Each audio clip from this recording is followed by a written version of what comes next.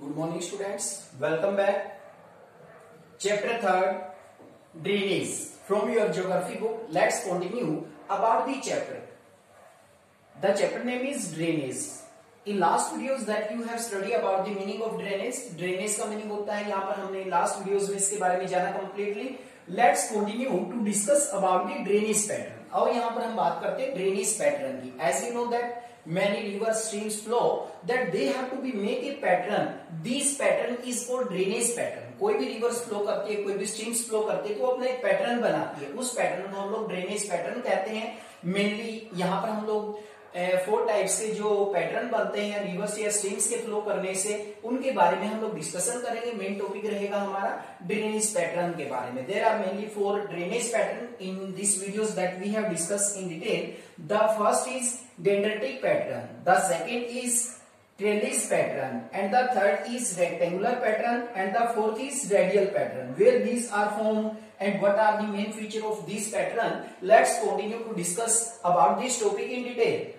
First of all drainage pattern drainage pattern क्या होता है? किन बातों पर डिपेंड करता है? स्ट्रीम्स या जो रिवर्स फ्लो करती है बेसिन्स में तो किन किन चीज़ों को लेकर वो अपना पैटर्न बनाती है? कौन कौन से फैक्टर है जिस पर डिपेंड करता है? The stream within a drainage basin form certain pattern depending on कहते हैं कि कोई भी स्ट्रीम्स कोई भी रिवर जो फ्लो करती है, वो जो पैटर्न बनाती है, वो कुछ फैक्टर होते हैं जिनके ऊपर डिपेंड करती है। यहाँ पर तीन फैक्टर दिए गए the first is the slope of land, यानी कि जो लैंड है, लैंड का स्लोप क्या है? फ़र्स्ट है the slope of land, the second is underlying rock structure यानी कि जो रोक स्ट्रक्चर होता है रोक स्ट्रक्चर यानी कि किन चट्टानों से वहाँ का एरिया बना हुआ है that depend on the underlying rock structure and the third factor is climatic condition of that area उस एरिया की क्लाइमेटिक कंडीशन क्या है? That depend on the drainage pattern all these that which type of pattern was formed by a river these are the three factor which have to be mainly depend on drainage pattern कैसा बनेगा वो किन factor पे depend करता है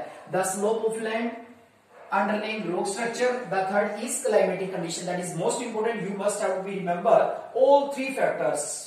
which a drainage pattern depend, which type of pattern developed by a stream or a river. The first is dendritic pattern. सबसे पहले हम बात करते हैं यहाँ पर dendritic pattern के बारे में। सबसे मेन पैटर्न इसको माना जाता है और कहीं ना कहीं इस पैटर्न में जो स्ट्रीम्स फ्लो करती हैं, वो look like a branch of trees यहाँ पर मैं मेन फोकस करना चाहूँगा। Look like a branch of trees the question have to be put which type of pattern develop the stream and is tributary look like a branch of a tree यानी कि जैसे पेड़ की शाखाएँ फैल जाती हैं, उसी तरह से जो स्ट्रीम्स होती है, उसकी जो ट्रिब्यूटरीज होती है, सहायक नदियाँ होती है, वो भी इसी तरीके से फैल जाती हैं। पेड़ की शाखाओं की तरह। इस पैटर्न को हम लोग डेंडेटिक पैटर्न कहते हैं। डेंडेटिक पैटर्न भी नाम इसको इसीलिए दिया गया because this look like the branches of a tree let's continue the dendritic pattern it develop where the where the river canal flow the slope of the terrain कहते हैं कि ये वहाँ पर डेवलप होता है। जब जो रिवर्स है, वो फ्लो करती हुई the slope of the terrain यानी कि फ्लो करती हुई जब ग्राउंड पे आ जाती हैं टेरेन का मतलब यहाँ पर क्या है? ग्राउंड यानी कि जब बिल्कुल ग्राउंड पे आ जाती है फ्लो करती हुई नीचे की तरफ़ आ जाती है तो वहाँ पर मेनली कौन सा पैटर्न डेवलप होता है? डेंडेटिक पैटर्न क्वेश्चन भी बना यहाँ पर। Which pattern develop where the river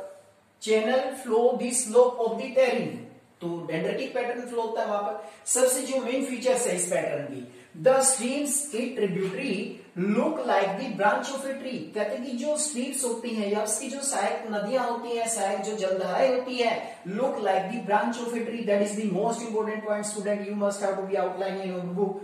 look like a branch of a tree कहते हैं कि जो भी जलधाराएँ बहती हैं, जो भी ट्रिब्यूटरीज बहती हैं, वो एक पेड़ की शाखाओं की तरह दिखाई देती है। That is the most important dendritic pattern this name have also given on the basis और on the resemblance of the branches of a tree that is the most important and the second is second we have to be talking about the trellis pattern trellis pattern की यहाँ पर हम लोग बात करते हैं। कहाँ पर डेवलप होता है ये? A river joined by its tributary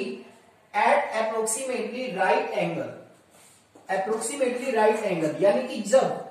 एक रिवर है वो ज्वाइंट होती है अपनी सहायक नदी के साथ, जो राइट एंगल होता है वहाँ पर तो वहाँ पर जो पैटर्न डेवलप होता है that is called trellis pattern क्या कहते हैं उसको हम लोग? Trellis pattern that is most important a river joined by its tributary which type of pattern is developed at the right angle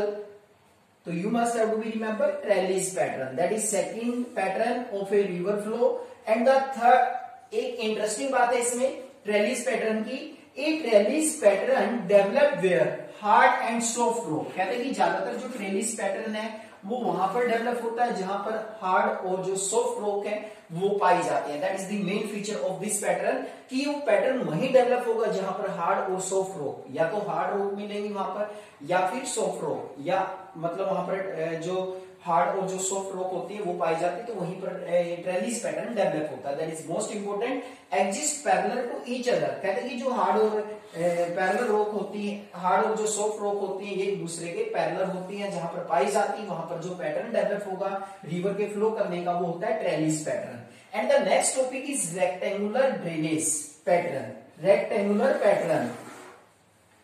it develop on a strong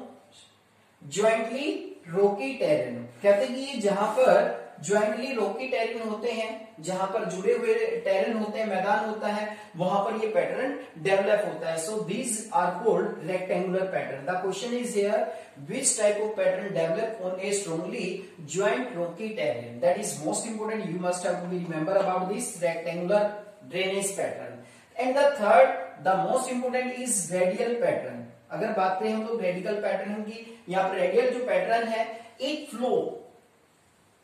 when streams flowing different direction from a central peak और central peak और a high part of land कहते हैं कि जो radial pattern होता है, वो वहाँ पर डेवलप होता है, जहाँ पर ऊँचा भूभाग होता है वहाँ से अलग अलग अलग अलग जो स्ट्रीम्स होती हैं अलग अलग जो जलधाराएँ होती है, वो डिफरेंट डायरेक्शन में फैल जाती हैं। This type of pattern is to be called radial pattern कहते हैं कि इस तरह का जो पैटर्न होता है, उसे हम लोग रेडियल पैटर्न कहते हैं, उसे रेडियल पैटर्न के नाम से जाना जाता है। यहाँ पर अगर हम जनरली बात करें, मान लीजिए कि ये अपर पार्ट है यहाँ पर, सबसे अपर पार्ट है यहाँ पर। ये वाला अपर पार्ट है, देखिए यहाँ पर क्या दिया गया इसमें main flow which streams flow different direction from a central peak central peak का मतलब जो सेंट्रल यानी कि बीच में जो ये पीक है, मान लीजिए यहाँ पर हाई पीक है ये। यहाँ से क्या होती है? बहुत सारे रिवर डिफरेंट डायरेक्शन में फ्लो करना शुरू कर देती है। इस तरह के जो पैटर्न बनते हैं these are called radial pattern इसको हम लोग कहते हैं रेडियल पैटर्न यानी कि जब स्ट्रीम्स डिफरेंट डायरेक्शन में फैल जाती हैं डिफरेंट डायरेक्शन में बहना शुरू कर देती हैं these are called radial pattern the last point और the most important point is about the all of this pattern is a combination of several pattern may be found in same drainage basin कहते कि एक drainage basin के अंदर भी ये सारे के सारे कॉम्बिनेशन हो सकते हैं। जितने भी पैटर्न हमने पढ़े यहाँ पर चार के चार कंप्लीट यानी कि एक ड्रेनेज बेसिन के अंदर भी ये चार के चार पैटर्न हो सकते हैं। These are the main pattern dendric dendritic pattern the second is trellis pattern the third is rectangular pattern the fourth is radial pattern that is the most important you must है put in exams from this topic.